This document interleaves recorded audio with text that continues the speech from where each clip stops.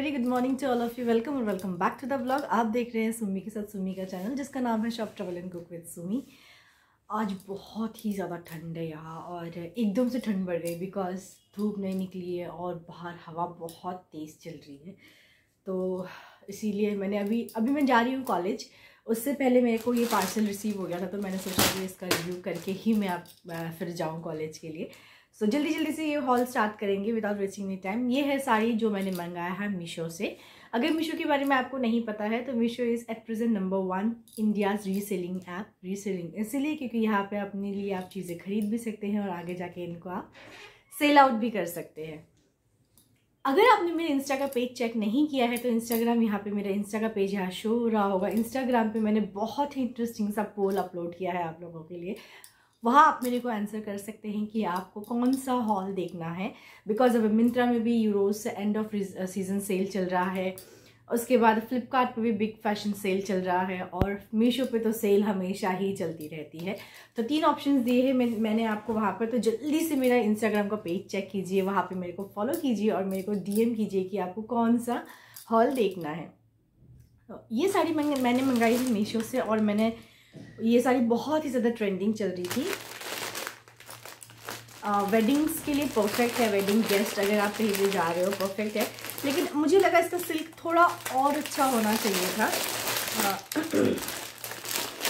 This beautiful black and red sari थोड़ा सा glare आ रहा है लाइट का। बट uh, जब मैं ट्राई ऑन दिखाऊँगी यहाँ तो आपको पता चल जाएगा कि कौन सा रेड है। It is very dark red in colour और इसके लिए मैंने पे किया है एट हंड्रेड एटीन रुपीज़ ये साड़ी मैं रीसेलिंग में भी लगाऊँगी तो stay connected to me with for reselling sorry जल्दी ज़्यादा ही जल्दी हो गई बिकॉज़ मुझे अभी कॉलेज के लिए भी निकलना है तो इसलिए I am just hurrying up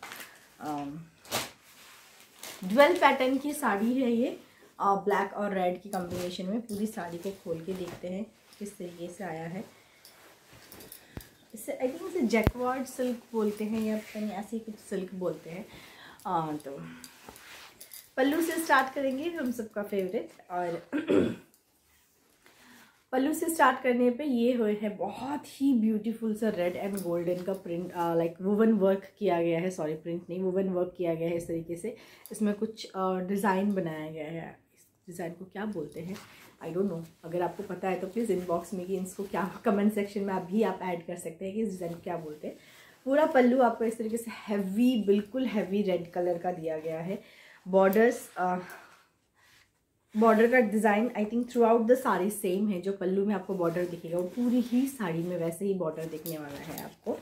और दोनों साइड का बॉर्डर सेकेंड में देख ली। दोनों साइड की बॉर्डर का ब्रेथ सेम है ऐसा कुछ नहीं कि नीचे वाले बॉर्डर में ज़्यादा चौड़ाई है।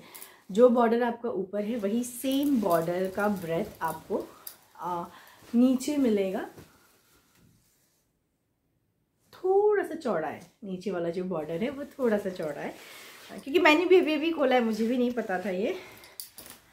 जस्ट हैव अ लुक बहुत ही ब्यूटीफुल सा लगने वाला है। Any of the ways black and red का कॉम्बिनेशन तो सबसे ज़्यादा अच्छा लग रहा है। सबसे ज़्यादा अच्छा लगता है देखने में। और अगर आप ये साड़ी को एज ए वेडिंग गेस्ट कहीं पे पहन के जाओगे, या फिर आपकी अभी नई नई शादी भी हुई है तो भी आप इसको पहन सकते हैं। यू लुक वेरी ब्यूटीफुल और पूरा बॉडी इसका ब्लैक है। उसमें ऐसे छोटे छोटे से वुवन बूटा वर्क किए गए हैं। पूरी ही साड़ी में। कहीं पे भी साड़ी एम्प्टी नहीं है। It is very beautiful and very heavy sari. ये आ जाता है आपका ब्लाउज का section again blouse is also very heavy थोड़ा ऑरेंजेस दिख रहा है but this is not oranges in colour this is pure red in colour जब मैं इसका ट्राउन लगाऊँगी तो आपको पता चल जाएगा इसका एक्चुअल कलर क्या है.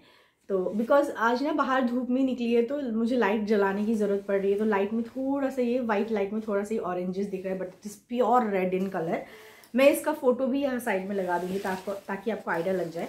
The best part about this silk is आप जस्ट देखिए, मैं आपको दिखाती हूँ यहीं पे, करके, कि ये ना बिल्कुल भी फूलने वाली सिल्क नहीं है। जस्ट हैव अ लुक बिल्कुल भी नहीं फूलेगी।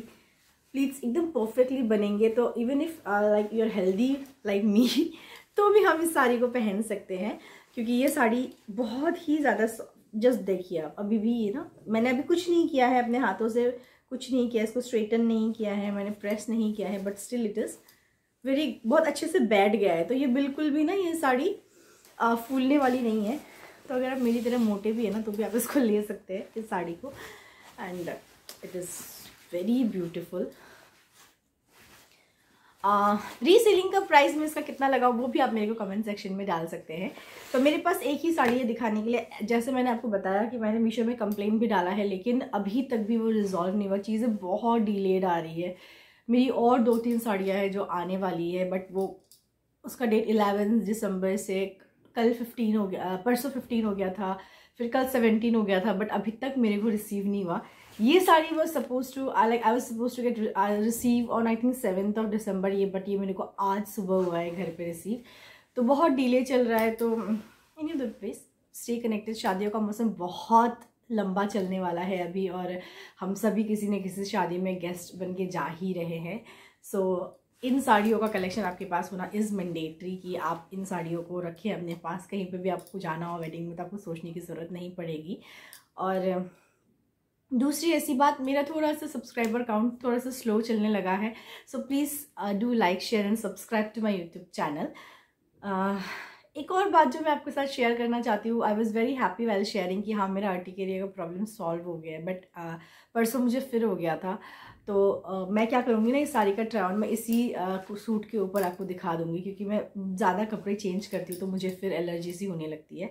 सो keep supporting keep liking and please do like share and subscribe to my youtube channel and thanks for watching